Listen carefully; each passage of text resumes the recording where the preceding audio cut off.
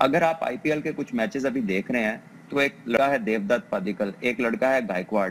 ये जरा दोनों ओपन कर रहे हैं एक आरसीबी से और एक सीएसके से और पृथ्वी शॉ ने कल खेला है। जरा इनकी बैटिंग देखे वो सत्तर सत्तर अस्सी अस्सी रन की इनिंग में या छक्का नहीं होता या एक छक्का होता है।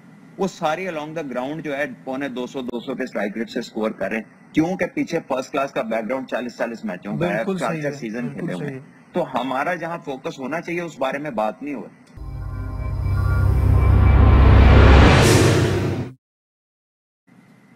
वालेकुम अस्सलाम सलमान टेस्ट के हवाले से तो बात करेंगे पहले शुरुआत से शुरू करते हैं सीरीज़ में जो टी ट्वेंटी सीरीज़ में हम एक मैच हारे वहाँ से शुरुआत करते हैं कि obviously on paper on the field Pakistan is much better side तो तीनों मैचेस में ऐसा क्यों लगा कि हमने उनको ये अपॉर्चुनिटी दी? और जिसमें से एक में उनको वो चांस मिला उन्होंने कैपिटलाइज किया और वो वो वो मैच वो जीत गए। तो ओवरऑल टी ट्वेंटी सीरीज़ को कैसा देखते हैं?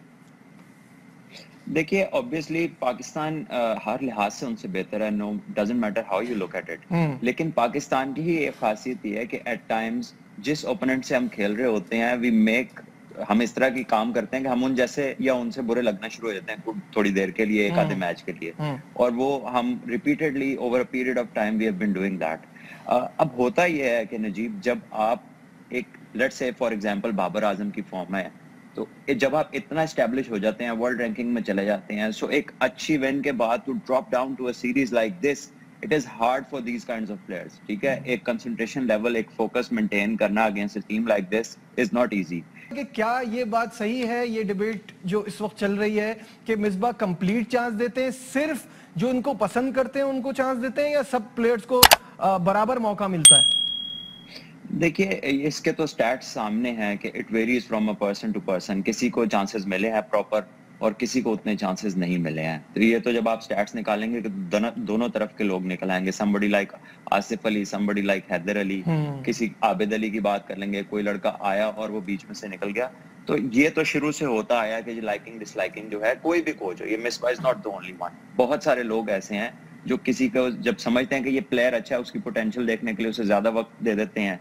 किसी को वो समझते हैं कि यार अच्छा नहीं है उसकी दो तीन चीज़ों पे वो कहते हैं नहीं यार बस इसको चेंज करो। तो ये होता रहा है हमारे ये होता रहता है। लेकिन हमने जो मॉडर्न गेम में से ना अपने बेसिक्स को छोड़ा है वो हम्म। हमें बैडली हर्ट कर रहा है। अब मैंने अभी रिसेंटली भी पाकिस्तान के एक मायनाज पुराने टेस्ट क्रिकेटर का मैं इंटरव्यू देख रहा था और मैं लोगों की बातें सुनता हूँ स्ट्राइक रेट और वो अभी भी इस बात का गिला शिकवा कर रहे थे कि इस टीम में कोई बड़ी हिट नहीं मारता। किसी को छक्का मारना नहीं आता। उनको ये फ़िक्र ही नहीं है कि टेक्निक में इतने इतने बड़े लूप होल्स हैं हम्म। कि वो छिक्का मारेगा ही उस बॉल को जो नहायत ही गंदी होगी जो अच्छी बॉल होगी उस पर रन करने मुश्किल होंगे और आउट से बचना मुश्किल हो जाएगा। अगर आप आईपीएल के कुछ मैचेस अभी देख रहे हैं तो एक लड़का है देवदत्त पादिकल एक लड़का है गायकवाड़। ये जरा दोनों ओपन कर रहे हैं एक आरसीबी से और एक सीएसके से और पृथ्वी शॉ ने कल खेला है। जरा इनकी बैटिंग देखे वो सत्तर सत्तर अस्सी अस्सी रन की इनिंग में या छक्का नहीं होता या एक छक्का होता है। वो सारे अलोंग द ग्राउंड जो है पौने 200 200 के स्ट्राइक रेट से स्कोर करें रहे हैं। क्यों? पीछे फ़र्स्ट क्लास का बैकग्राउंड 40 40 मैचों का है चार चार सीज़न खेले हुए तो हमारा जहाँ फोकस होना चाहिए उस बारे में बात नहीं हो हमारी बात कुछ और हो रही है और उसका रिज़ल्ट यही आएगा जो आपके सामने। बिल्कुल सही है क्योंकि वो हम इतने टाइम से यही बात कर रहे हैं। इंडिया से कंपैरिजन के अलावा कि हम जो है अब अब अब जैसे जो जो बात हम हमेशा डिस्कस करते हैं कि हमारे यहाँ बहुत जल्दी मौका मिलता है।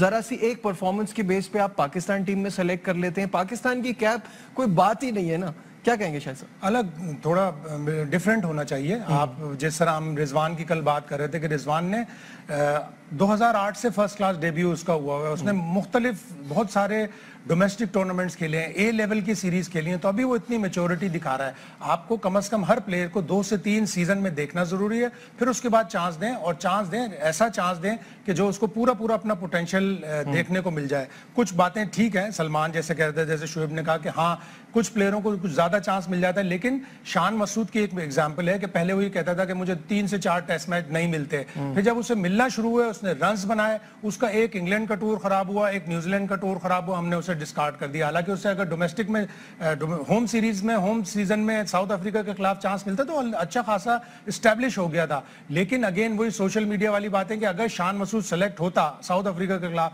तो सोशल मीडिया पे एक वबाल हो जाता और फिर यही प्रॉब्लम हो जाता है। और इसका, इस बात का इतराफ यूनुस खान ने किया है। सुनो चैनल को सब्सक्राइब करो, उसके बाद घंटी बजा देना, ताकि अगली वीडियो आपसे मिस ना हो पाए। Thank you